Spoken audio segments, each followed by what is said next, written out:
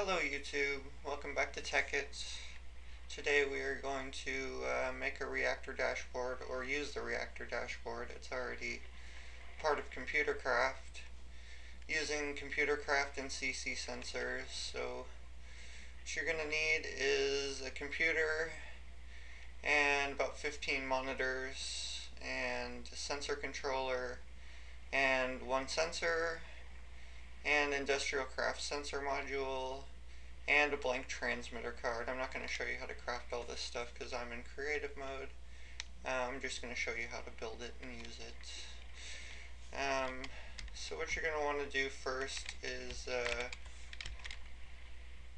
put down a sensor controller and then you're going to want to go and place a sensor next to your nuclear reactor I'll show you in an upcoming tutorial how to build a nuclear reactor. This is just a simple setup. I don't have any walls around it yet or anything. It's just a six chamber reactor with three MFSUs. Um, so what you want to do is come over here to the sensor controller and you're going to click on new and sometimes it doesn't disappear. Um, just hit escape and it'll create a new one and then right click on it again and the new thing disappears. And then if you press the down arrow you go to info that gives you a channel.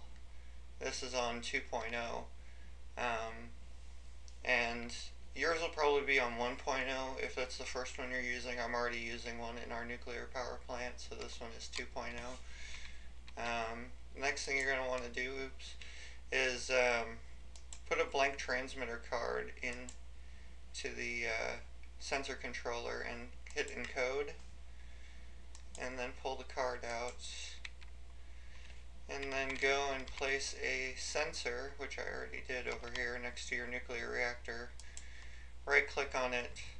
It says no card in slot so you put an industrial craft card in and it says target info reactor EU storage which is your MFSUs um, so under reactor there should be targets 1 and under EU storage there should be targets 3 because I have 3 MFSUs. The dashboard will only show 3 um, so you can have 1 or 2 or 3. I'm going to put this transmitter card in and uh, hit escape and it'll change blue at the top for the industrial craft card and uh, Yours will be red if it's 1.0 or purple if it's 2.0 um, for the channel you're using. Next thing we want to do is come over here and uh, put down a computer on top of this. You probably have to use your sneak key. Or maybe it won't let me. Maybe not.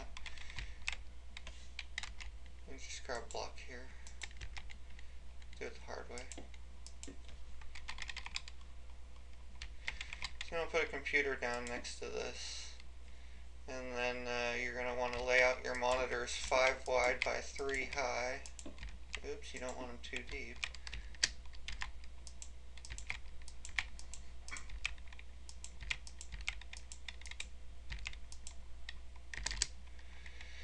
And really easy, we're just going to uh, go into the computer terminal here.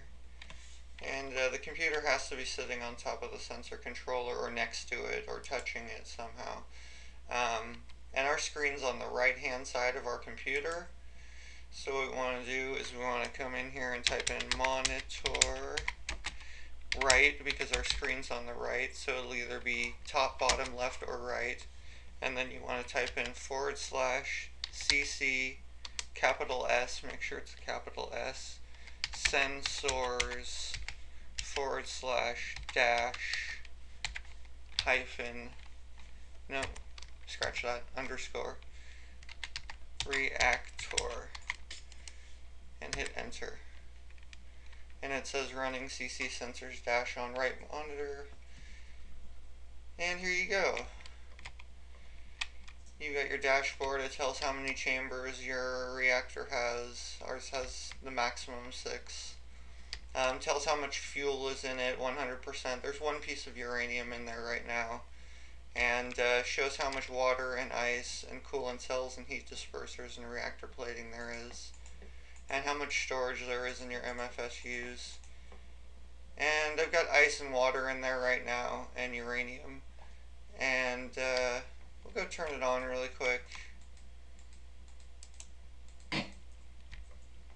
makes a nice noise when you start it up. And uh, the fuel starts going down 99.9%. And eventually the MFSUs will start charging up. And uh, throw some uh, coolant cells and heat dispersers and uh, reactor plating in here.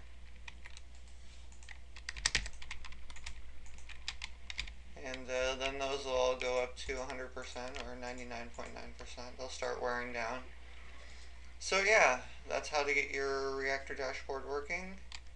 Um, if you have any questions or comments, just leave them and I'll get back to them if I can. Uh, thanks, have a great day.